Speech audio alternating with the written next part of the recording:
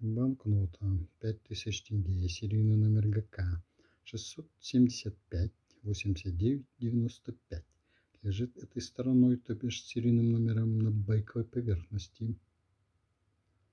9 января 2024 года.